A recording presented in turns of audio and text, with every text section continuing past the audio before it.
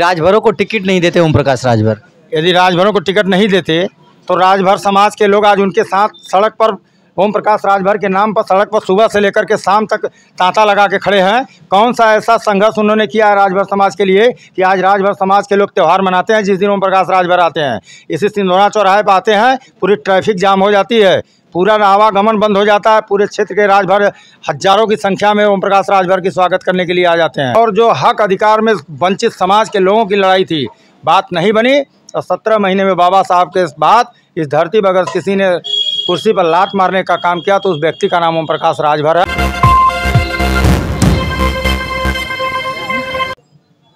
नमस्कार दोस्तों, राजभर एक्सप्रेस में आप लोग का तय दिल से स्वागत है। आज हम चाय की दुकान पे और चाय पे चर्चा करेंगे। और सोयल भारतीय समाज पार्टी के पदाधिकारी हैं। उमेश राजभर जी हैं, जो प्रदेश कार्यकारिणी में पदाधिकारी हैं। और जानेंगे कि ओम प्रकाश राजभर जी की चर्चा पूरे भारत या विश्व में कहा जाता है। चर्चा हो रही है और सभी कयास लगा रहे कि उन्हें मंत्री कब बनाया जा रहा है। सबके सभी लोग बेचैन हैं कि उन्हें मंत्री कब बनाया जाएगा। इस पर आपका क्या विचार है? धन्यवाद राजभर एक्सप्रेस चैनल को आपको। जो आपका सवाल है कि हमारे सुवलदेव भारतीय समाज पार्टी के राष्ट्रीय अध्यक्ष माननीय ओम प्रकाश राजभर जी के को लेकर के जो प्रदेश सरकार में मंत्रालय में जाने की बात अटकलें लगाई जा रही हैं माननीय हमारे राष्ट्रीय अध्यक्ष ओम प्रकाश राजभर जी कभी मंत्री पद के लिए लालायित नहीं रहते हैं। आपको च, आपके चैनल के माध्यम से मैं अवगत कराना चाहता हूँ कि 2017 में माननीय राष्ट्रीय अध्यक्ष जी भारतीय जनता पार्टी अलायंस में चुनाव लड़े थे। और चुनाव जीतने के बाद उन्होंने भारतीय जनता पार्टी उन्हें कैबिनेट मिनिस्टर बनाया था। और माननीय ओम प्रकाश राजभर जी ने कैबिनेट मिनिस्टर की शपथ लेते हुए यह कसम और सौगंध खाई थी कि मैं उत्तर प्रदेश सरकार में मैं मंत्री रहूँगा। और उत्तर प्रदेश में दबे, कुचले, मजलूम समाज के, नौजवान के, गरीबों की आवाज़ को बुलंद करूँगा और जो सबके हक, हिस्सा अधिकार की लड़ाई होगी, उसको मैं सबके दरवाजे तक पहुँचाने का काम करूँगा। इस मुद्दे पर उन्होंने सरकार में मंत्री पद का शपथ लिया था। लेकिन अपनी बात को मजबूती से उत्तर प्रदेश के सदन में रखते थे और कुछ भारतीय जनता पार्टी के लोग ऐसे थे जो उनकी बात को करने के बजाय हिला हवाली करते थे। और माननीय नेताजी ने एक संकल्प लिया था कि बाबा साहब डॉक्टर अंबेडकर इस देश में कांग्रेस की सरकार में जब देश के कानून मंत्री हुआ करते थे तो कानून मंत्री होने के बाद बाबा साहब डॉक्टर अंबेडकर को यह सपना याद आता था जैसे कि हम समाज की लड़ाई को लेकर के चले हैं और आज दिल्ली में कानून मंत्री बने हैं तो बाबा साहब डॉक्टर अंबेडकर रात को यह स्वप्न देखते हैं कि मैं गरीबों की कैसे सेवा करूँ। और जब गरीबों की बात नहीं बन पाती है तो बाबा साहब डॉक्टर अंबेडकर कहते हैं कि मुझे दिल्ली में कानून मंत्री रहने का कोई अधिकार नहीं है, और उन्होंने कांग्रेस के लोगों ने उनकी बात को नहीं माना, गरीबों की बात को नहीं माना, हक अधिकार की बात नहीं माना तो बाबा साहब डॉक्टर इस देश में पहले ऐसे नेता थे जो केंद्र के केंद्रीय मंत्री पद से इस्तीफा दे करके और समाज के बीच में लड़ाई लड़ने के लिए गरीबों की लड़ाई को लेकर आए और उस हक अधिकार को दिलाने में सफल रहे और पूरी दुनिया में जैसे बाबा साहब धरती और सूरज चाँद को याद करते हैं लोग, उस तरह बाबा साहब डॉक्टर अंबेडकर को याद करते हैं। इस इस धरती पर एक दूसरा नेता, बाबा साहब के जाने के बाद एक दूसरा नेता, हम लोगों के राष्ट्रीय अध्यक्ष माननीय ओम प्रकाश राजभर जी, पुनः इस धरती पर अवतार लिए, जो उन्होंने बाबा साहब के बाद उत्तर प्रदेश में सत्रह महीने के मंत्रालय को ऐसे ही कुर्सी को ठोकर मार करके और उनकी बात नहीं बनी और समाज में गरीबों की, मजलूमों की, किसानों की, नौजवानों की और जो हक अधिकार में वंचित समाज के लोगों की लड़ाई थी, बात नहीं बनी और सत्रह महीने में बाबा साहब के बाद इस धरती पर अगर किसी ने कुर्सी पर लात मारने का काम किया तो उस व्यक्ति का नाम ओम प्रकाश राजभर है। लेकिन रोकना चाहेंगे, लेकिन आज जिस पार्टी ने उन्हें निकाला था। आज उसी पार्टी के साथ अलायंस कर रहे हैं। किए और अपने मुद्दों को भी लेके आए हैं। क्या उस मुद्दे को, जो मुद्दे पहले भी मुद्दे थे, आज वही मुद्दे हैं? क्या उसको भारतीय जनता पार्टी पूरा करेगी? आज विगत सत, दो हज़ार सत्रह के बाद, माननीय ओम प्रकाश राज, आप, राजभर जी, आप देखे होंगे कि उत्तर प्रदेश ही नहीं, देश के कोने कोने में जिस जाति के लोगों को कोई जानता नहीं था, उस जाति को ला करके समाज के उस पटल पर खड़ा कर दिए कि जिस जाति का कोई कद्र नहीं था, उस जाति का एक महत्व हो गया। और जहाँ तक मंत्रालय की बात है, माननीय राष्ट्रीय अध्यक्ष जी, आज हमारे जेपी नड्डा, राष्ट्रीय अध्यक्ष भारतीय जनता पार्टी, देश के यशस्वी प्रधानमंत्री आदरणीय नरेंद्र मोदी जी, देश के यशस्वी गृह मंत्री आदरणीय अमित शाह जी, इन लोगों ने बुलाया और कहा कि राजभर समाज के लोगों के साथ साथ पिछड़े समाज, दलित समाज में जो आपकी समस्या मूलभूत है, पहले उसमें मंथन होगी। और दिल्ली में बुला करके आप लोगों ने देश के चैनलों पर आप देखा होंगे कि देश के प्रधानमंत्री बुला करके एक गहन मंत्रणा चल रही है। और तब तक नेताजी बात नहीं मान रहे हैं। जब तक कि उस मुद्दे पर बात नहीं बन जाती है, तब तक वह मंत्री पद लेने के लिए तैयार नहीं है। जब तक उस मुद्दे पर बात बन जाएगी, जब उस मुद्दे की बात हो जाएगी, तब माननीय नेताजी उत्तर प्रदेश सरकार में मंत्री पद लेंगे। कहने का मतलब आप ये कह रहे हैं कि जब तक जो मुद्दे लेके बीजेपी के साथ आए हैं, जब तक वो मुद्दों को सॉल्व नहीं किया जाए, तब तक मंत्री पद लेने के लिए तैयार नहीं है। हाँ माननीय नेताजी, आज समाज में घूम घूम करके, जैसे राजभर समाज को आरक्षण दिलाने की बात है, आप देखे होंगे कि अभी सर्वे चल रहा है, अभी तमाम जाँच एजेंसियाँ लगी हैं कि राजभर समाज की माली हालत क्या है। उसके साथ साथ और हमारे बिहार में हैं, हमारे चंदौली में बिहार समाज के लोग हैं, तमाम राजभर समाज के समकक्ष ऐसी जातियाँ हैं, जिन जातियों की माली हालत बहुत ही बदतर है। आज उनकी स्थिति यह है कि उनको अगर से जाँच कर लिया जाएगा तो एस के से भी नीचे उनकी माली हालत है। और नेताजी ने इस बात को माननीय अमित शाह जी, माननीय देश के प्रधानमंत्री जी, नरेंद्र मोदी जी को राष्ट्रीय अध्यक्ष, Bharatiya Janata party J P Nadda ji के साथ बैठ करके उस मुद्दे बात कर रहे हैं।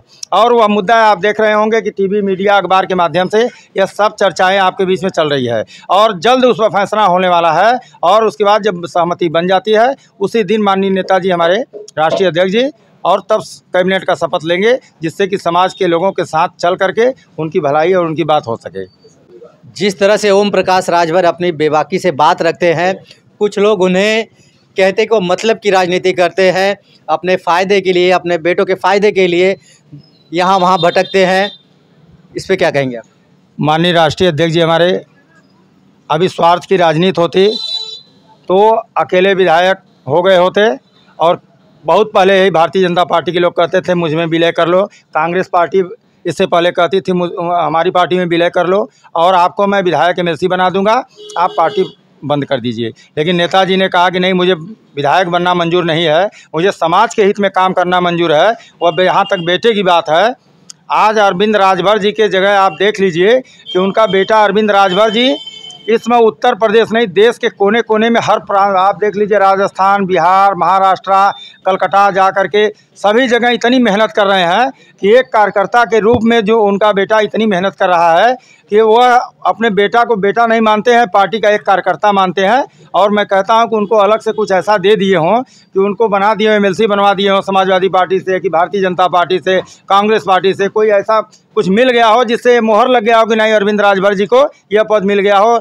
हम लोग उसको मान लेते कि नहीं, अरविंद राजभर के लिए राजनीति कर रहे हैं। लेकिन आज तक उन्होंने अपने बेटे के लिए कभी पद की बात नहीं किए हैं। जहाँ तक चुनाव लड़ने की बात है, ये हम जैसे कार्यकर्ता कहते हैं कि आदरणीय नेताजी, एक नौजवान अपना भाई भी सदन में हम लोगों की भी आवाज़ बुलंद करेगा, हमारे बीच का एक कार्यकर्ता रहेगा जो हम लोगों से मिलता रहेगा, हम लोग अपनी समस्या को उनके बीच में रखते रहेंगे। ऐसे नौजवान भाई अरविंद राजभर को चुनाव लड़ा करके सदन भेजने का काम करे और नेताजी ने हम लोगों की बात मान करके अरविंद राजभर को बनारस की शिवपुर विधानसभा से चुनाव लड़ाए और हम लोगों के कहने पर कि हमारा भाई मज़बूत रहेगा तो हमारी आवाज़ सदन में उठाएगा। इस मुद्दे पर नेताजी ने हम लोगों की सिफारिश और कहने पर अरविंद राजभर को टिकट दिए थे। अब टिकट की बात आ रही है तो लोगों का कहना है कि ओम प्रकाश राजभर जी अपने सगे संबंधियों को टिकट देते हैं लेकिन राजभर समाज के लोगों को टिकट नहीं देते हैं। ओम प्रकाश राजभर जी बहुजन समाज पार्टी के मान्यवर कांसी राम साहब के विचारों से चलते हैं सहमत रहते हैं बाबा साहब डॉक्टर अंबेडकर की बातों को मानते हैं उनका कहना है समता मूलक समाज और सर्व समाज के लोगों को साथ लेकर चलना है। अभी आप देखे होंगे कि पूर्व पूर्व में विधायक अजगरास कैलाश सोनकर जी थे। इसके बाद रामानंद बौद्ध जी एस से एस से रामा रामानंद बौद्ध जी थे। इसके बाद आप देखे होंगे कि यहीं जगदीश राय भूमिहार समाज से हैं, यहीं अरविंद राजभर राजभर समाज से हैं। जितनी सीटें मिली थी, सर्व समाज के लोगों को हिस्सा उन्होंने दिया था। वह किसी व्यक्ति के लिए नहीं दिया था। मुद्दा ये नहीं सवाल ये है कि राजभरों को टिकट नहीं देते ओम प्रकाश राजभर? यदि राजभरों को टिकट नहीं देते तो राजभर समाज के लोग आज उनके साथ सड़क पर ओम प्रकाश राजभर के नाम पर सड़क पर सुबह से लेकर के शाम तक तांता लगा के खड़े हैं। कौन सा ऐसा संघर्ष उन्होंने किया है राजभर समाज के लिए कि आज राजभर समाज के लोग त्यौहार मनाते हैं, जिस दिन ओम प्रकाश राजभर आते हैं? इसी सिंधोना चौराहे पर आते हैं, पूरी ट्रैफ़िक जाम हो जाती है, पूरा आवागमन बंद हो जाता है, पूरे क्षेत्र के राजभर हज़ारों की संख्या में ओम प्रकाश राजभर की स्वागत करने के लिए आ जाते हैं।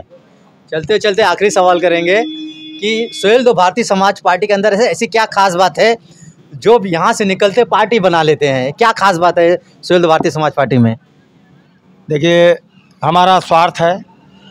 हम माननीय ओम प्रकाश राजभर जी के साथ पूरे पूर्वांचल में घूम घूम करके और संगठन में काम किए और जब काम करते करते चलने लगे हैं तो स्वाभाविक है कि आदमी को यह होता कि हम बराबर हो जाएँ। लेकिन मैं कह रहा हूँ कि हमारे पास एक कलम है। कलम को हम ऐसे करके लिखते हैं खड़े। तो उसका महत्व होता है, स्याही लिख देती है, लेकिन जब उसको हम बेड़े बराबर कर देंगे तो लिखना बंद कर देगी। तो इसीलिए मैं कह रहा हूँ कि नेताजी के साथ जितने लोग लगे हैं, सब लोग खड़ा होना चाहते हैं और खड़ा होकर के सिर्फ़ सबको यह है कि जो नेताजी हैं, वही राष्ट्रीय अध्यक्ष हम बन जाएँ। तो क्या एक आदमी राष्ट्रीय अध्यक्ष है तो सारे लोग राष्ट्रीय अध्यक्ष बन सकते हैं? तो राष्ट्रीय अध्यक्ष बनने के लिए वो अलग अलग तरीके से जाते हैं छोटे छोटे दलों का रजिस्ट्रेशन कराते हैं, सब लोग राष्ट्रीय अध्यक्ष बन बन जाते हैं। और उनका कोई मुद्दा नहीं, उनको समाज से लेना देना नहीं है। समाज के हित में जो माननीय अध्यक्ष जी आप देखे होंगे विधानसभा में चाहे कुम्हार हो नाई हो गोंड है लोहार है खरवार है राजभर है मौर्य है बिंद है चौहान है जितनी जातियों की मुद्दा को उठाते हैं क्या अपने लिए उठाते हैं मुद्दा? हर समाज के दबे कुचले समाज के लोगों के लिए उठाते हैं। आज वह राष्ट्रीय अध्यक्ष हो गए हैं वह लोग सिर्फ़ ओम प्रकाश राजभर पर पत्थर मारते हैं। आखिर क्यों ओम प्रकाश राजभर जी को ही क्यों टारगेट करते हैं जो पार्टी से निकलते हैं? और भी तो पार्टियाँ उन पर क्यों टारगेट नहीं करते? देखिए वह स्वार्थी लोग हैं। उनको अपना स्वार्थ दिखाई दे रहा है कि जो लोग निकले हैं, जो आज स्वाभिमान पार्टी के राष्ट्रीय अध्यक्ष बने हैं, आप उनसे जाकर पूछिए कि उनको नेता बनाने वाला कौन है, उनको चुनाव लड़ाने वाला कौन है? वो हमारे माननीय राष्ट्रीय अध्यक्ष ओम प्रकाश राजभर जी हैं, उनको चुनाव लड़ाने वाले।